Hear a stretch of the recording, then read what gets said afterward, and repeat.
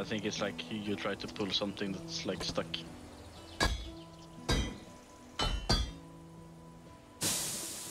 There we go. Quench it.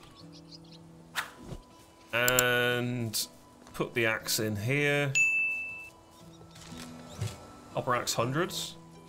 Perfect, right. They've got a copper axe. Hopefully that's a lot of wood. Uh, I will say, this game has a lot of buildings.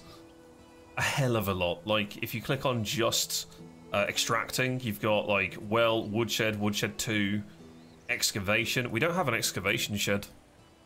That's one thing we, we unlocked yesterday. Uh, if I go to production, you've got three different types of workshops, smithies, sewing huts, kitchens. And it looks like you have to build the new building every time. I'm not sure that they upgrade. Which is kind of weird.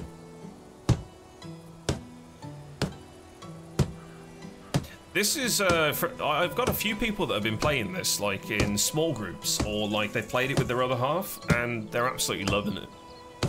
Absolutely loving it. Because you're basically, you, you, you're decorating a village together, and you're making decisions as to how to produce certain things. It's, it's a perfect co-op game, to be honest. Absolutely perfect, and there's no competitive nature. Like, Unless you want to do... You can add competitive nature to it if you wanted. You can have separate villages, I guess. Um, that could be pretty interesting. One of you could become like, you know, um, a quarry master, where you have uh, excavation shacks and smithies set up, and the other one can look into like animal husbandry and have loads of different animals on uh, on a farm. That, that'd be kind of cool, actually.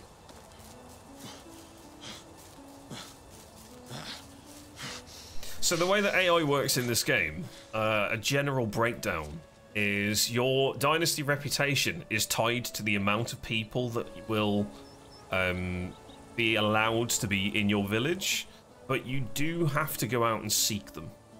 So through working out playing the game, it looks like every 100 rep equals a new person. So we can have seven people in our village total um, doing stuff and you've got to go seek out those those NPCs. You'll say like, you know, oh, started a new uh, new little town. Do you want in? And uh, when they join, they all have their own different traits and stuff. So if you like uh, micromanaging and putting the right people into the right areas, um, that's just like another layer of depth that you can really go into. I mean, once we've got enough bodies in the village to do jobs, I think that's when I'm going to start fine-tuning who does what. But right now, for me, it will just be get people in, get them gathering a little bit so that me and Frinator can kind of focus on um, the next part of our upgrade on the tech tree, or uh, maybe we want to go and specifically farm something so the idle nature of the game still takes over and helps us out. Which is super cool.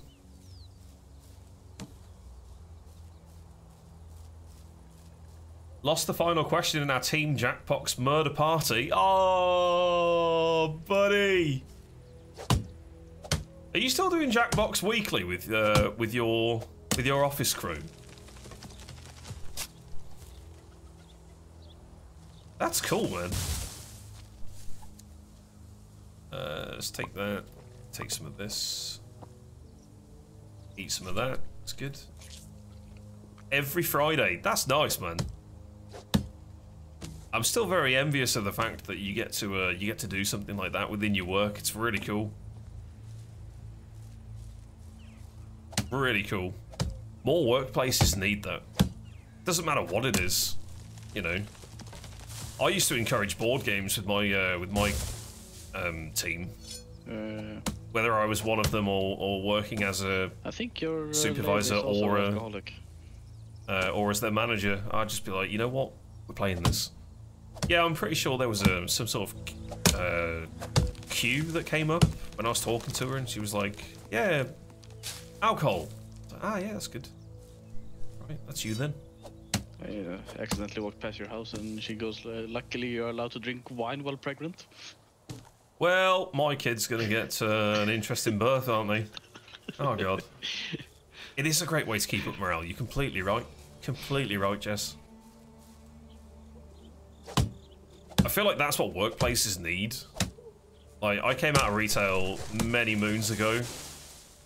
But when I was in it, I kind of wanted to be that person that would put a little bit of fun into the little things that you do. Like, for those of you that don't know, I used to work in a bakery, so making bread, making rolls, making cakes, you know, all of it. And um, you try and make it fun. Whenever we like hired somebody new, you'd show them the ropes and you'd, you'd give it a, a cool little twist, but you wouldn't just give the twist for the new person. You'd also get other people that are in your workplace anyway involved in what's happening because for them, they have the knowledge, they have the experience, they've worked in that place. So it's kind of like, you know, you breathe a bit of life into what they may feel as a bit of a mundane role at that time, or they're not quite enjoying their job. So it's nice to, to, to do that. It's the one thing I miss, to be honest, about about looking after a team. Making sure that everybody's looking looking good and they're okay. I used to enjoy that a lot.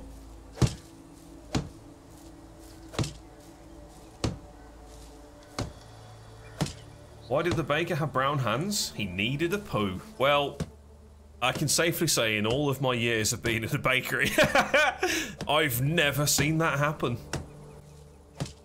But I'm not saying it's impossible. oh my god. Love that. oh, is it worse than a soul joke? I don't know, man. I love Souls jokes. They're they're great fun.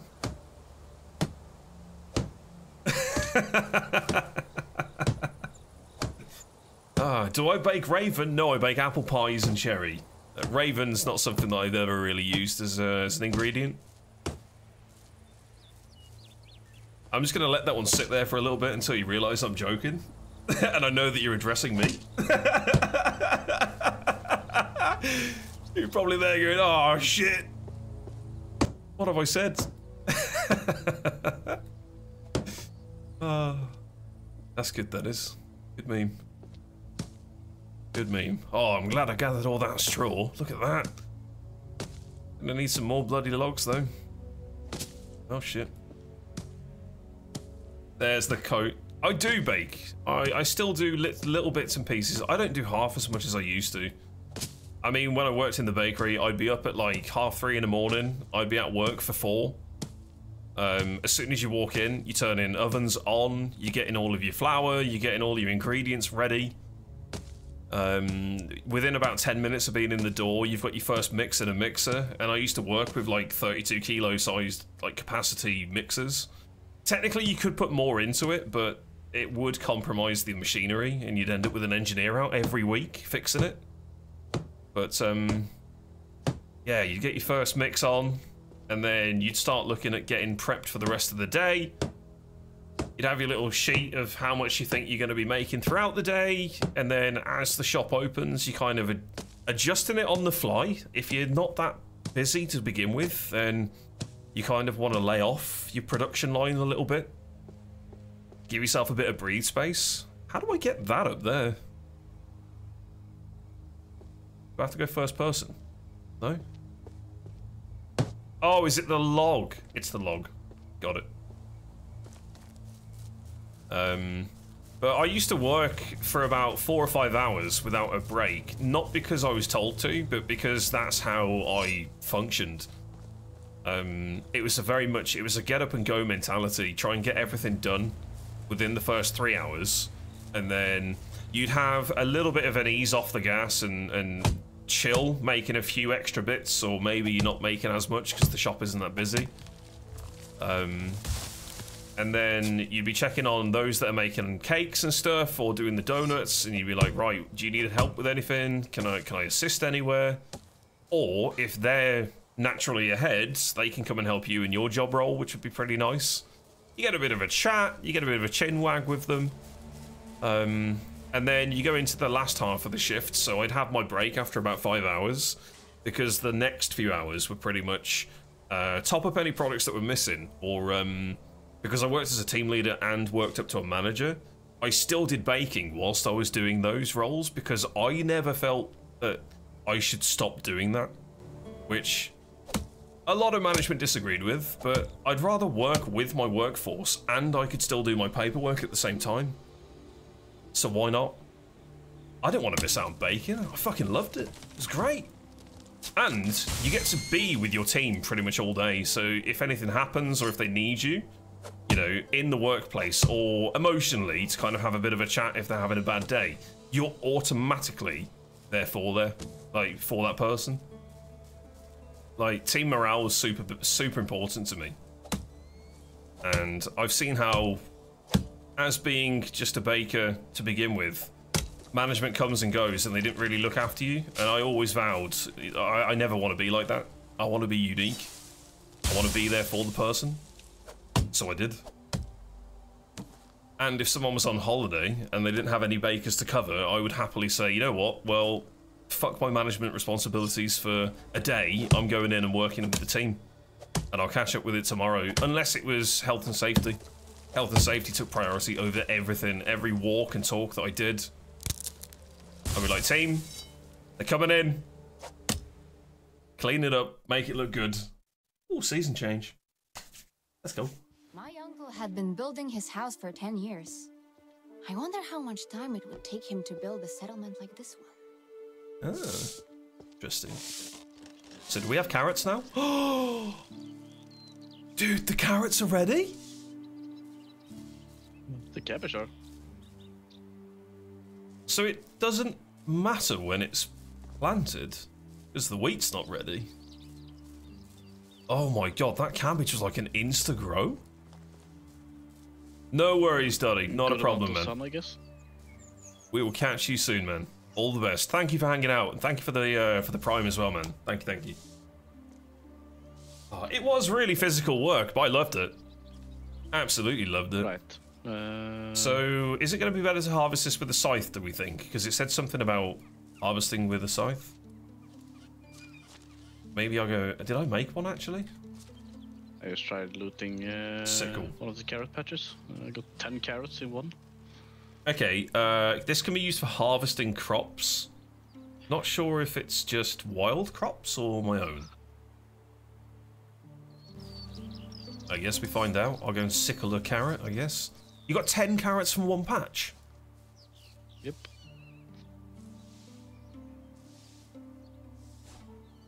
Okay, so I can't left click with it. It's a bit sad. What happens if I collect? I got seven and four seeds. Did you get seeds as well? I got one seed. Okay, let me try again. I got eight and two. So this just seems like it's an RNG system. I don't think the sickle has any sort of impact with this. I'm guessing the sickle's more for wheat and anything that grows taller. Uh, I'm guessing you do the farming since you have early experience in it. I can do, yeah. Yeah, that's fine by me. Totally fine. Passion! Is it Passion? Was it Sean? Pass.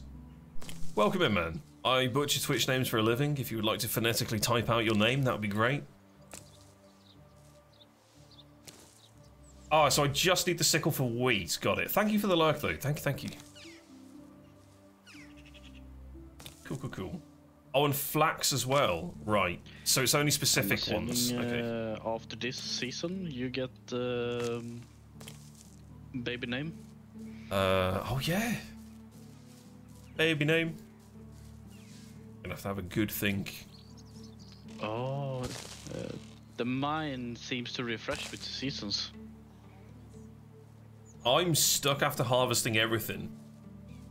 But more importantly, it looks like the cabbage leaves stay in the ground. The carrots came up. Uh, so it's So is this going to be a multi-spawner? Is that is that how this works? could be.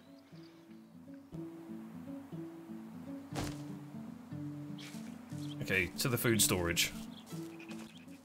I guess I'll put it in the kitchen actually for now, because then we can cook with these carrots. How many did I get? 209!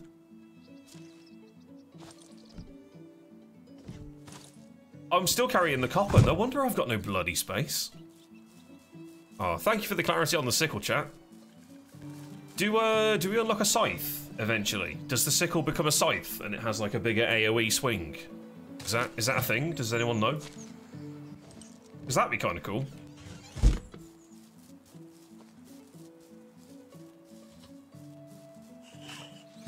Oh yes, we've got logs coming through. Great, great, great.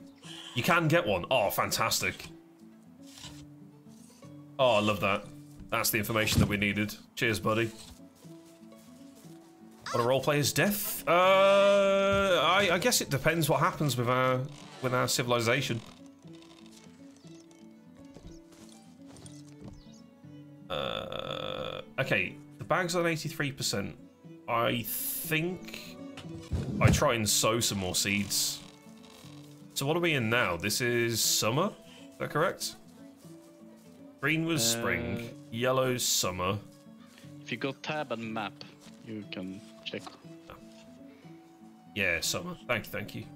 I think um, autumn was brown, and it had leaves falling from the tree instead of an apple. Yep. Hang on, that's the king. The artwork looks like that Hell card game that I played. It's got like the paper folded shadow half face. It's kind of cool. Uh, Very cool. All right, let's take some of this. Grab Yep. that. So we're not going to get 100% back on seeds, but we're going to get close. that didn't work. What if I should run to town and get some different seeds? Probably going to be a good idea, right? Mm-hmm. We can't do carrots this season. I can still do cabbage. Uh, oh, it's only cabbage this season. So I'm guessing the orchards are the way forward. Yeah. Hmm. Maybe we try and get uh, a tree seed. Okay. A plague mask. Oh. That'd be so good. So if I re-fertilize this, it, it just goes into Uh, into cool Watch out mode. when you eat the old food. Yeah, did you get uh, toxicity? Mm-hmm. Yeah, I, I saw that earlier. Oh, I need fertilizer? Shit. I was about to eat something that had like 11 and it was like 60% poisoning. Good God. I Guess we can put a barn here. Need a barn, don't we, to make the uh, make the rot or whatever it was. Farming.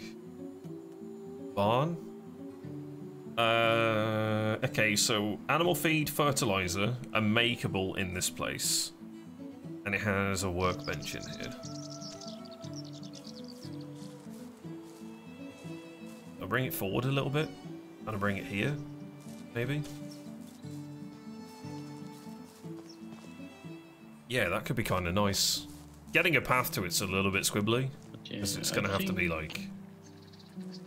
Clearing out the mine every season might be a good idea.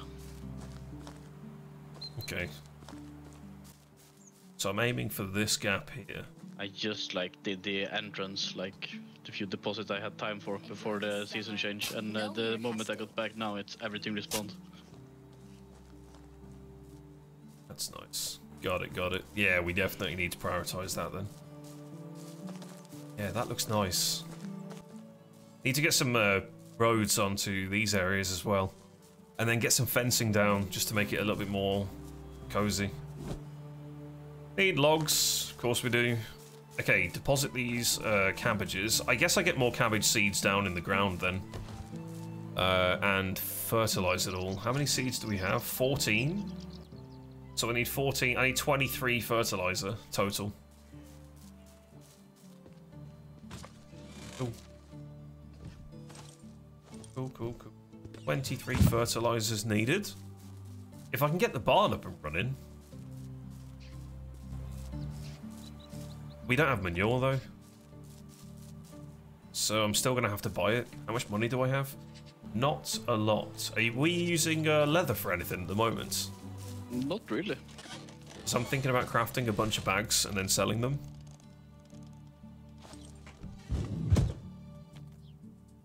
Sixty-eight.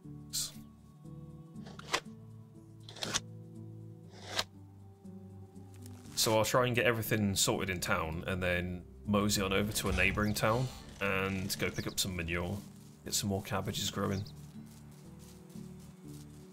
Uh, I built a barn next to the smithy. It's in between the smithy and the storage house. Oh, so nice. I just I just need to get some logs into that, and uh, then we can start to use the new workbench in there, which will be pretty good. And that's where we'll leave the playthrough for now. If you want to watch more then click on the next episode on screen, or why not check out some of Toasty's other content, as he plays other various video games and genres. Thanks for watching, subscribe if you're new, and we'll see you in the next episode.